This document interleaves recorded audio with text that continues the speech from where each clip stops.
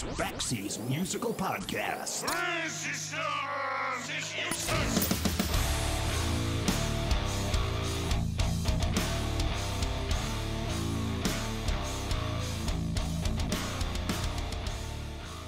Back in March, I interviewed rock journalist Tom Beaujour about his book, Nothing But a Good Time. The book was a compilation of over 150 different interviews conducted with musicians, producers, and record executives about the music of the late 1980s, which is often dismissed as glam metal, released by what was known as, at the time, hair bands. And while they were unfairly lumped into the same classification, partially due to the timing of their most productive period, the band Tesla were something much more than that. Tesla were something different, perhaps more authentic, maybe even more credible than most, because while there were bands running up and down the Hollywood Strip in Dayglow spandex pants, Tesla were just a bunch of guys from Sacramento, 375 miles north of Los Angeles, playing songs that would still be played on the radio more than 30 years later. This was a bunch of guys that would go on to sell more than 14 million records in the United States alone without the spandex, without the goofy makeup, and without much of the pretense that defined much of the music being released in the late 1980s and early 90s. Instead, they were releasing some of the biggest rock songs of the decade with songs like Little Susie, Heaven's Trail, The Way It Is, and of course, the enormously successful ballad Love Song. They also struck platinum with the unplugged version of the five man electrical band's 1971 single Signs. This was a band whose first three records also went platinum and held their own against other successful bands like Guns N' Roses, Bon Jovi, Motley Crue, and Poison. What's even more amazing is that this was a band that was founded by bass player Brian Wheat and guitarist Frank Hannon when they were just 15 years old. Tesla has just released an updated unplugged album called The Five Man London Jam, recorded at Abbey Road Studios back in 2019. There's also new music on the way, and the band is set to hit the road this year, first with Styx and then later with Lynyrd Skynyrd. This is my conversation with Tesla co founder Frank Hannon on Baxie's Musical Podcast.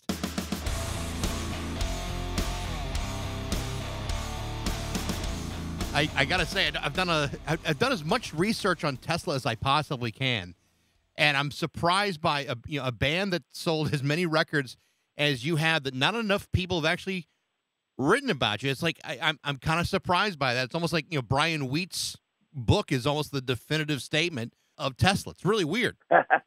yeah, you know, we were always kind of the underdog of the '80s. Uh, when when uh, we were out back then, we had trouble getting in magazines and I don't know why, but you know, we have a great fan base and we got a, a big catalog of songs, and so we're pretty grateful for what we got. And uh, but we are kind of the underdog rock and roll band.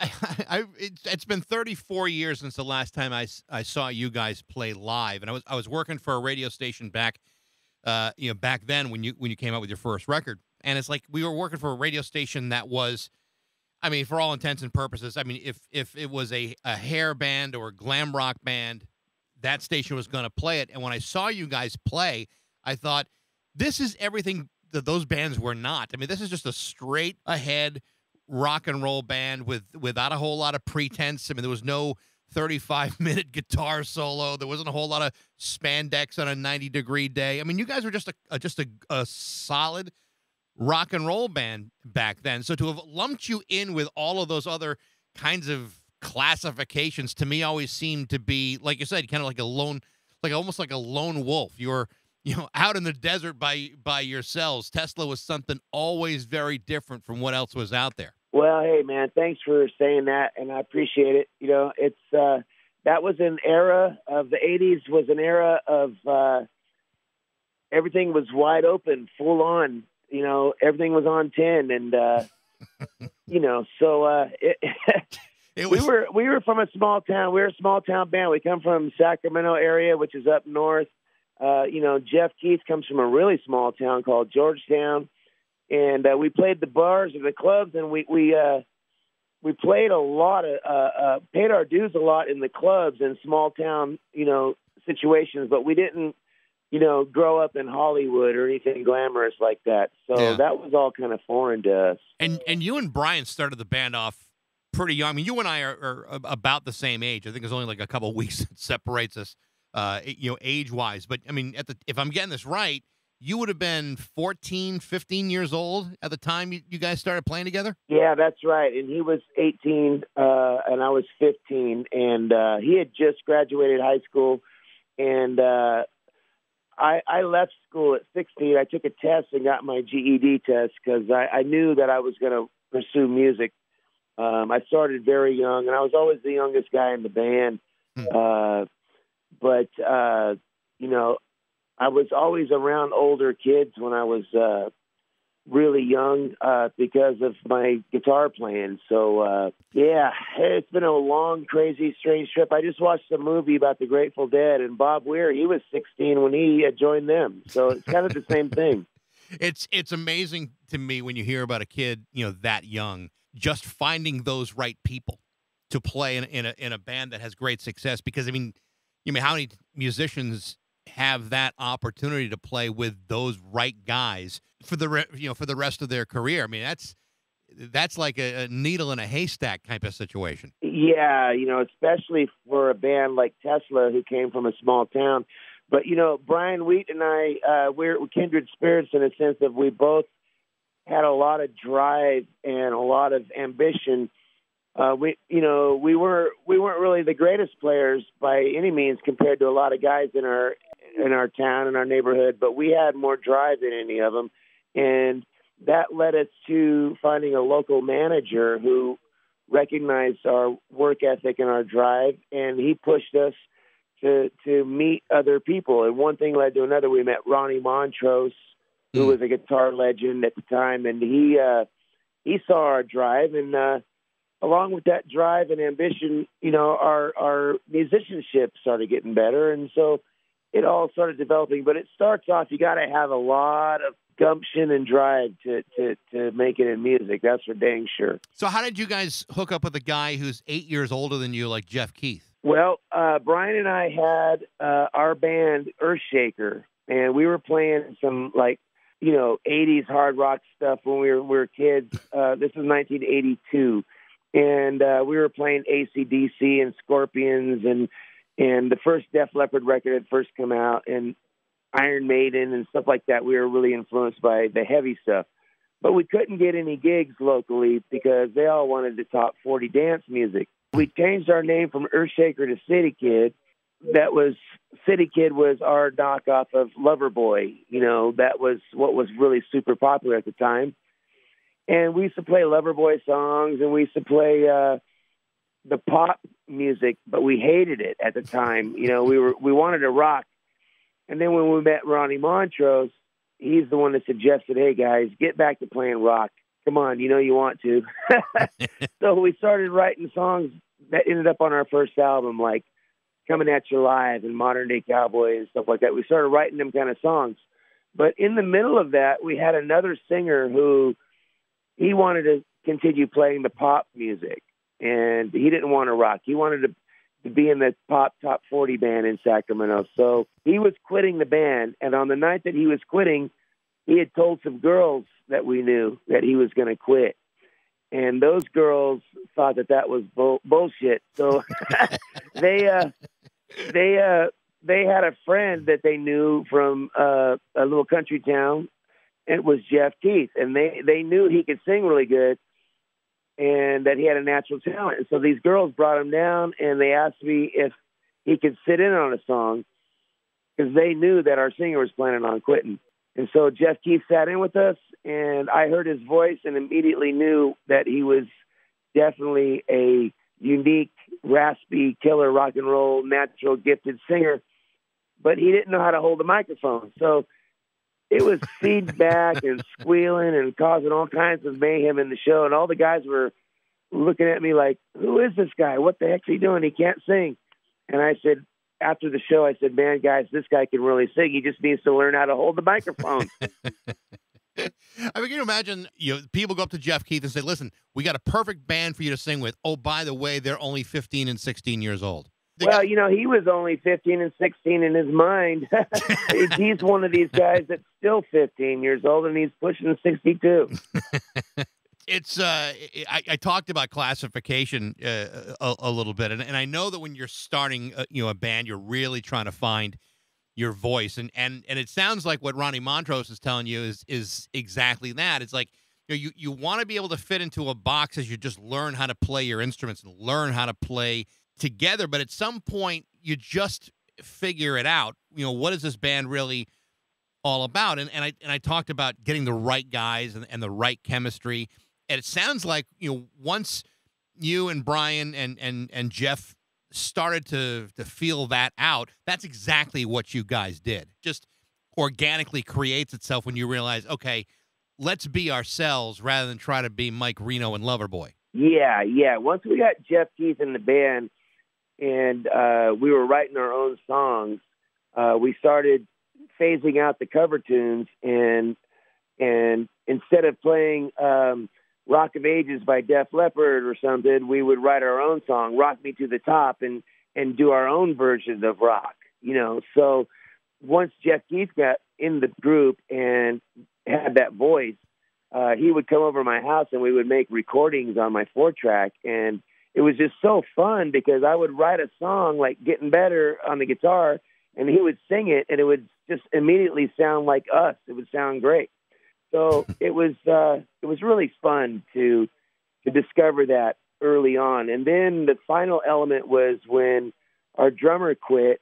We got Troy Luccketta playing drums, and Right. his drumming is so for us at the time was so big and professional sounding because he had already made a record with Eric Martin and he had already toured with Journey, and so he was a more experienced uh, musician and when he got in the band, it really made made us sound like uh, a real rock band at that point. You know, I, I, I mentioned that I, I started working at a radio station, you know, back in the '80s when when you guys were just coming out, and it, you know, it was a it was a time when you know Guns N' Roses was out with their first record, and everybody was looking for that next big hit, and then your first album comes out, Mechanical Resonance, and one of the things I, I and I completely forgot that this was that this was true. You know, one of the first singles that comes off of that, or certainly you know maybe the commercial break for, through from an album was was Little Susie, and I completely forgot that that was in fact a cover song by by PhD from 1981. And I'm looking at uh, the video on on YouTube today of PhD singing that song. What a shitty video that was! Absolutely oh a yeah, horrible you know that's video. an, that's an example of uh, a guy like Ronnie Montrose. He heard he knew the, of that song and he heard the potential in the song, and he uh, he suggested that we covered it, and uh, it turned out to be a, a a really good song for us. But if you heard the original, yeah, it was nothing like the way we did it. Absolutely, absolutely not. And in fact, to, to the point where your version is so much better than than the original from from top to bottom. But that's interesting that that Ronnie Montrose, you know, saw that and said, "This is a great song for you guys." Uh, he was always a hero of ours. You know, when we were kids, the Montrose album is such a rock and roll iconic album. You know, that's the first album that Sammy Hagar uh, sang on. So we were, you know, really influenced by him. But he he uh, started taking his interest in producing young and up and coming bands, being a producer uh, later in his career, and that's what. Uh, motivated him to come to Sacramento from San Francisco and just search out local talent, which he did. He came to a bar and he heard us playing, paying our dues, and uh, he offered to help help us and become a coach. And we remained friends uh, up until the day he died. Uh, you know, he, we were we were buddies. In fact, I saw him about two weeks previous to him passing away. We got together and uh, had dinner and you know, so yeah, he was a big part of our lives. When you uh, released that first record, the trajectory to go from just a small town band to all of a sudden you got a platinum record on your hands. The speed. Well, no, it wasn't all of a sudden, man. We we toured on that. It didn't go platinum for a couple years. We weren't an overnight success, man. We we uh, paid our dues pretty pretty hard, and we toured. Well, I'll tell you a story. Uh, Modern Day Cowboy was released on Headbangers Ball in, uh, in the summer of '86, and we didn't go, go out and do any uh, gigs until December when we got hooked up with David Lee Roth and we supported him. I was working for a company picking up garbage and taking it to the dump, and Modern Day Cowboy was on the radio, and I was sweating my my ass off in a in a, a little dump truck with no air conditioning, hearing my song on the radio. so you know, it, it, it the record finally uh, did go gold after we toured and opened for everybody, man. Poison, Great White, uh, Alice Cooper. We did a tour with as a support act. But I, I mean, I remember you know playing you know, that album and, and playing those records and, and it was obviously it's not an overnight success for you for you know disc jockeys and, and, and listeners of that record it does seem like you kind of came out of nowhere to have a, an album that was just loaded with with great songs and the next record was even better than that. And and that's really where you, you guys show that this was this was a band to be reckoned with. And especially you know especially during that time when there were so many bands that were that were more focused on image than the music. And it was like in in some ways it that whole 80s early 90s time period was kind of it's kind of like the have and have nots there were some bands that, that that had the talent and there were some bands that didn't have enough talent to support the notoriety that they that they received i'm sure you must have felt the the same way that you know, you guys were you know compared to these bands but so much but so different than than any of it. Well, thanks, man. At the time, you know, I didn't even realize what was going on. I was 19, 20 years old, and not even really knowing what we were doing, and and and I knew we were working our butts off and having a great time, living our our goal. Um, but uh, looking back on it, yeah, that was an interesting era, man. The '80s, and you had your bands that were really flashy, and then you had your bands that were just really gritty and real, you know, and uh, Guns N' Roses album came out after after Mechanical Resonance and Black Crowes and a lot of bands did manage to uh, to stay true to their roots. And you know, it just comes down to what we learned from Ronnie is you know write some gutsy songs that you feel that you can that you can be proud of. And Jeff, I think because he was a little bit older than us, uh, he's really emphasized writing some lyrics that he could really believe in. And so uh, we didn't write any cheesy uh, party lyrics that were that didn't have any value to him. Um, Jeff wrote lyrics that were from his heart, and uh, I'm grateful that he did. When when I, when I think of a song like uh, like Love Song, there were so many ballads coming out at that time, but that's one that still gets played today. When so many of the, those others have kind of faded away, all those other great you know ballads at the time, but Love Song is one that just has connected to people that's a song that's going to be played forever. I mean, that's just a, a, a timeless, beautiful ballad. Thanks a lot, man. I appreciate that. You know, that that little acoustic thing that I played at the beginning, um, it's just so basic and so simple. But I was I was really feeling it when when I wrote it, and I get offered to play at weddings.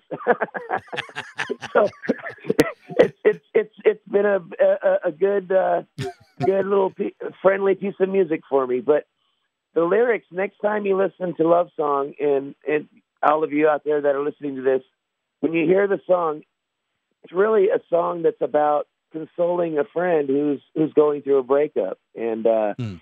i think that's what put the extra little the, the little twist to it is that from the point of view of trying to help somebody or something.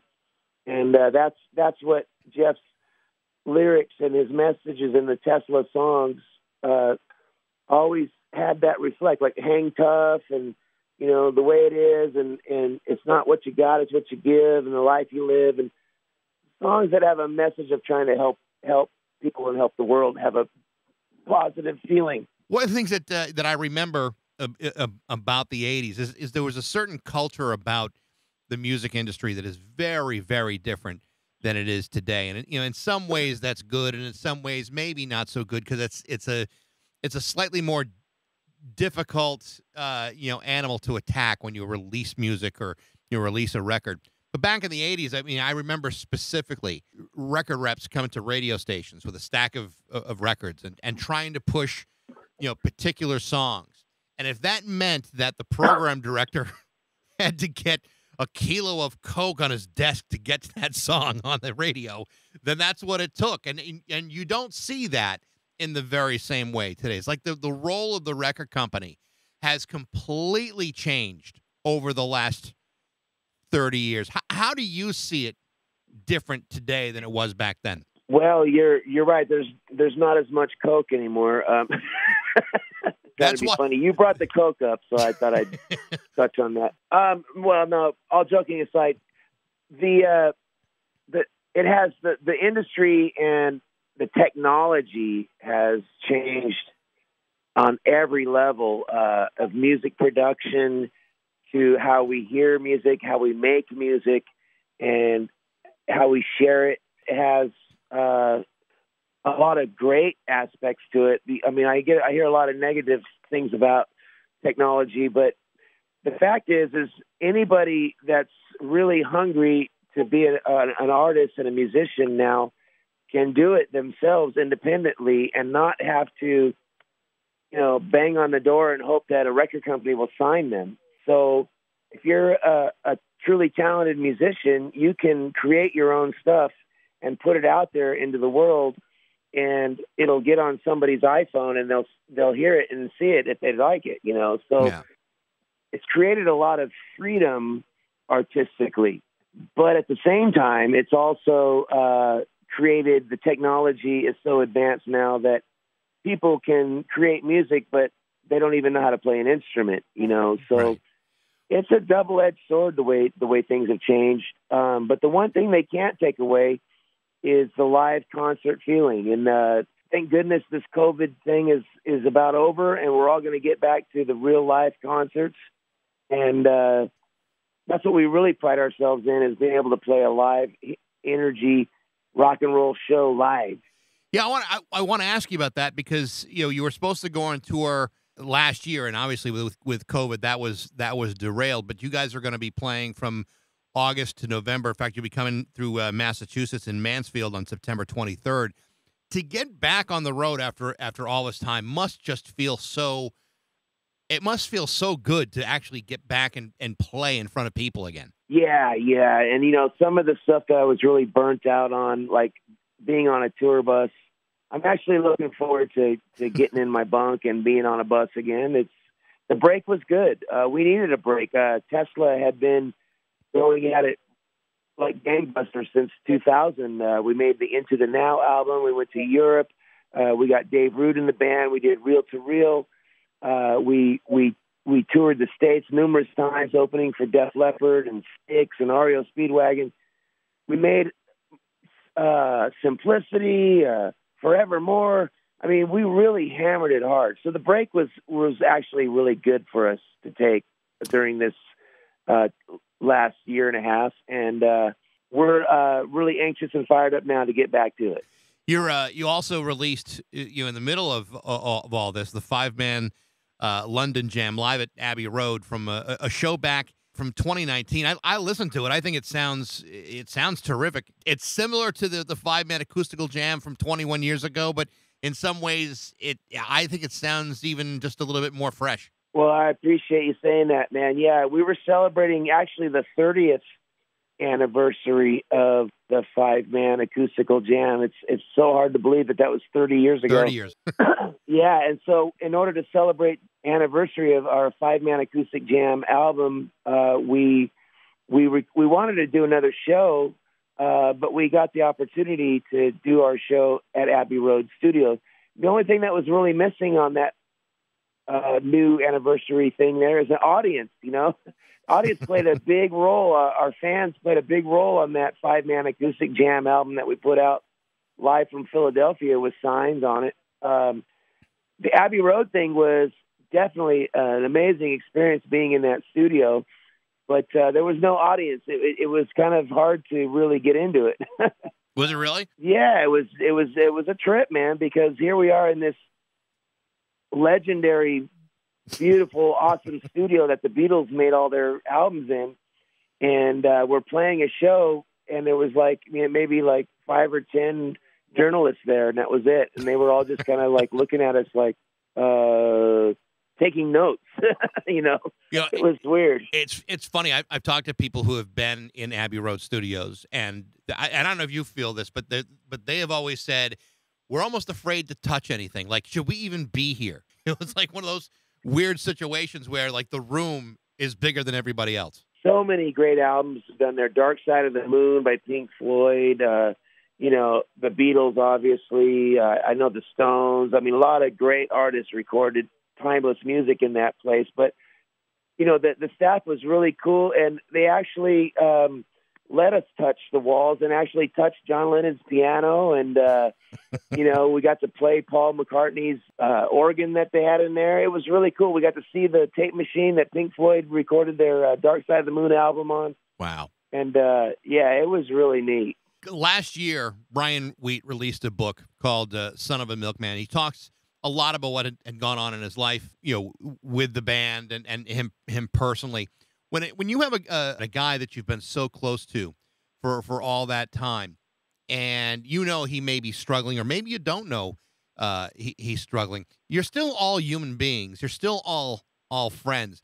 But as a as a band member, as a friend of his, to see him go through some of the things that he's gone through, what was your feeling about about that stuff? Uh, well, you know, I, I did uh, live the story, so I, I haven't read his book, but I, a lot of people have told me about some of the things that he talks about in there, and you know, a lot of things I knew about, but a lot of things I didn't know about. You know, uh, that he revealed.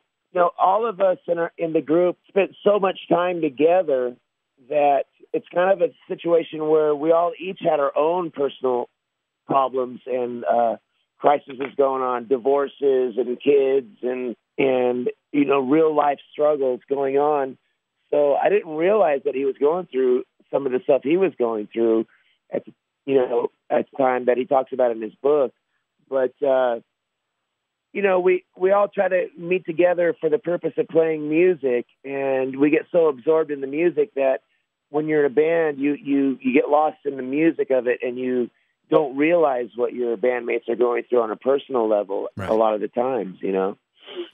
But you do, in, in, in a sense, you know, kind of you know rally around each other too, because you do all have a, a common goal uh, together, which which I assume in, in some ways must be very helpful for all of you. Yeah, you know, once we get in in into the uh, the zone of playing music together and uh, you know not being apart, you know, it got to the point to where we were together so much that when we were not together, we we all split up and went our separate ways. Right. And so a lot of us weren't even really involved in each other's personal lives very much because when we were together, it was more about really just coming together with the music. Uh, we supported each other to a to a degree, but then then we'd leave each other alone yeah. at the same time. You know what I mean? No, I totally understand what you mean. I totally do. I also know what it's like to be in a long partnership with people and to try to, you know, go through, you know, go through your life professionally and then, you know, be concerned about, you know, are they doing okay? Am I doing okay? Are we doing okay together? Yeah, the thing was though with Tesla and, you know, with Brian or myself, we all were struggling with our own personal life hardships of divorces and and problems but we had so many problems that were affecting our music with our former guitar player mm. that a lot of time was spent on trying to to get that guy straightened out and rehabbing him for the sake of the music. So a lot of attention was was wasted on that uh, problem. You know what I mean? So yeah. sometimes you know there's unfortunately even in partnerships or marriages there's other problems that are too distracting from you know problems that should be looked at are getting uh, neglected by a bigger problem. So with the uh, the new album, the Five Man London uh, London Jam, are you guys talking about maybe doing new music together, or are you just gonna you know rest on this one for a little bit and see what happens? No, we uh, we have a brand new single that's coming out. It's called Cold Blue Steel. Uh, J.K. and I wrote it uh, about two months ago. I was in my garage playing my guitar. he showed up to, to come over and jam with me, and uh, he was listening to Lynyrd Skynyrd's Saturday Night Special at the time, and was rocking out to Ronnie Van Zant's lyrics and his message uh, in that song, and so we wanted to do our own little spin on that, and we got influenced by Lynyrd Skynyrd and wrote our own new song called Cold Blue Steel, and it's coming out August 27th. And we're really excited about it because we produced it ourselves. It's really raw and not over polished. It's edgy. It's got mistakes in it, and it sounds killer. And you also had a single out uh, not too long ago called uh, "Ride Strong" with Aaron Leigh from Y&T and Kelly, uh, Kelly Nobles from Rail. Tell me about that. Well, yeah, you did your homework. That's that's uh, "Ride Strong" is a, a a song that I put out uh, uh, as Frank Hannon. I hate the word solo artist. You know, I'm not a you know a so, solo is a guy that's by himself. I'm just an artist. I play in Tesla, but I also do my own thing. You know what I mean? Right. So, but so people can understand. Yeah, as I put out a solo uh, single, it's called "Ride Strong," and Kelly Nobles is a drummer from a band called Rail. That was one of my favorite bands in the '80s. We used to open for them, and he plays double bass drumming, which is some of my favorite uh, style of drumming. And that you know was really popular in the '80s, and he's like a master of it.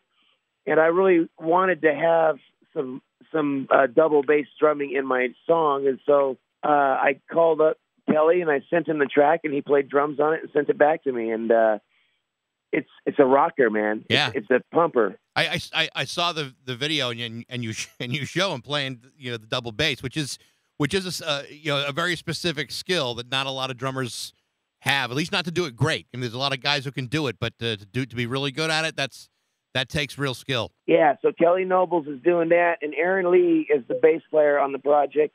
Uh, he's he's my friend who plays in Y&T. We've been friends for years, and uh, the three of us uh, recorded that that song. And it's a song about survival and and having the attitude of kicking ass right from the start, man. You got to just give it all you got, and that's what the song's about. I, I can't wait to hear the new uh, the new stuff. I can't Wait to see you on the road. Congratulations on the new record, and uh, it is a real pleasure to talk to you. Same here, man. I really appreciate you taking the time to uh, have me on your show. The new album by Tesla is the five man London Jam from Abbey Road Studios. And like I said, there's new music on the way. And if you like the show, subscribe, share with all your friends, and follow along on Facebook and Instagram at Baxie's Fun Bag. I'd also like to hear what you think. You can reach me at bax at rock102.com. And again, thanks for listening to Baxie's Musical Podcast.